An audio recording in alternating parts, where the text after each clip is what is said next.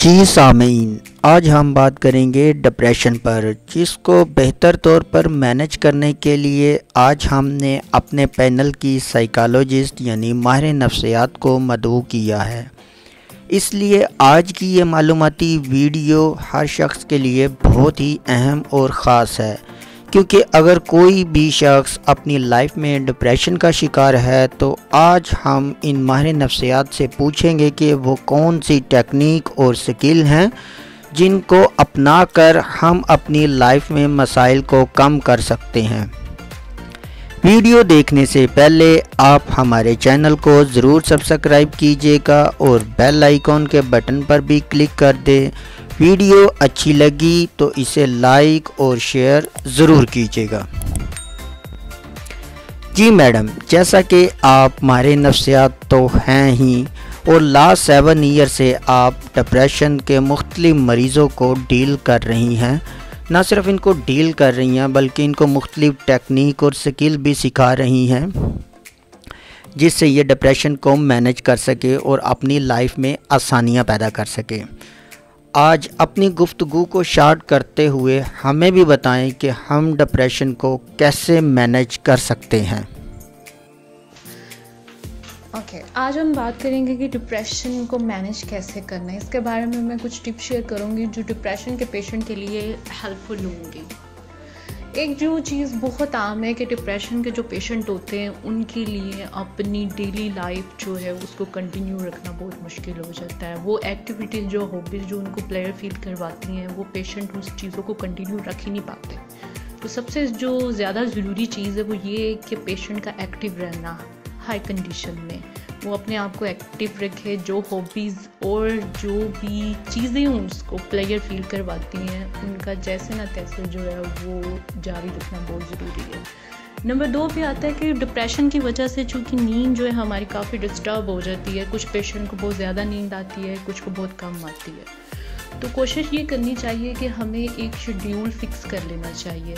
उसी के अकॉर्डिंग जो है, हमें early to bed early to rise जैसे कहते हैं कि जल्दी सोना है और जल्दी उठना है और सेम रूटीन को फॉलो करना है। ये रेगुलर बेस पे होगा। ये नहीं है कि आज दस बजे सो रहे हैं तो अगले दिन जो है वो ग्यारह बजे सो रहे हैं।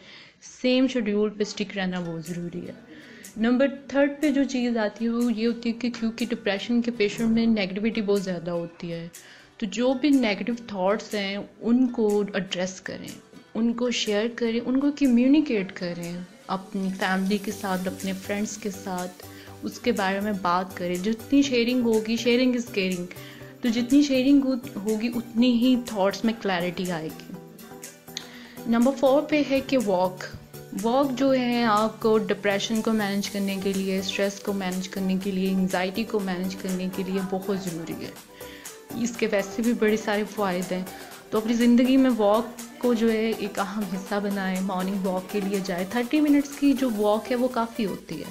तो वॉक को डेली बेस पे लेके आए। नंबर फाइव पे है बैलेंस डाइट जो भी खाना स्किप नहीं करना। खाना खाना है, चाहे थोड़ा खाना है, लेकिन खाना छोड़ना नहीं है। जो भी खाना लें, वो हेल्थी डाइट हो।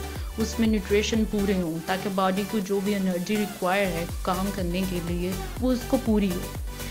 ये कुछ टिप्स थे अगर तो पेशेंट इन टिप्स को फॉलो करके अपनी सिम्टम्स को काबू कर लेते तो बहुत अच्छी बात है। लेकिन बाज़ दफ़ा ऐसा होता है कि डिप्रेशन का लेवल बहुत हाई होता है। उसके लिए ज़रूरी है कि आप किसी भी करीबी जो साइकेट्रिस्ट है, उनसे कंसल्ट करें, उनकी मेडिकेशन जो है वो कंटिन्यू होगी तो ये बहुत ज़रूरी है। इस चीज़ों को अगर आप फॉलो करेंगे तो इन डिप्रेशन की जो सिम्टम्स हैं, उस पर वो कम हो जाएँगे।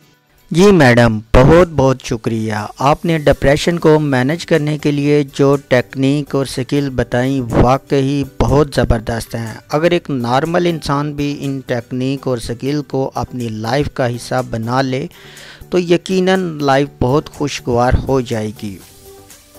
उम्मीद है कि हमारे सामीन को भी ये मालूमती वीडियो अच्छी लगी होगी। अगर आपके जहन में भी डिप्रेशन से मुतल किसी भी किस्म का कोई सवाल हो तो आप कमेंट सेक्शन में हमसे पूछ सकते हैं और आपके तमाम पूछे गए सवाल का जवाब हमारी साइकोलॉजिस्ट यानी माहिर नफ्सियात ज़रूर देंगी। और नाजरीन, ये तो हमारी वीडियो डिप्रेशन से मुतलका थी। इसके अलावा भी हमने इन्जाइटी और स्ट्रेस पर इन्हीं मारे नफ्सियात की बहुत ज़बरदस्त मालूमती वीडियो है। जिसका डिस्क्रिप्शन में मैं लिंक भी दे दूँगा, आप ज़रूर देखिएगा, जिससे आपकी रहनमाई में मज़ीद इजाफ़ा होगा।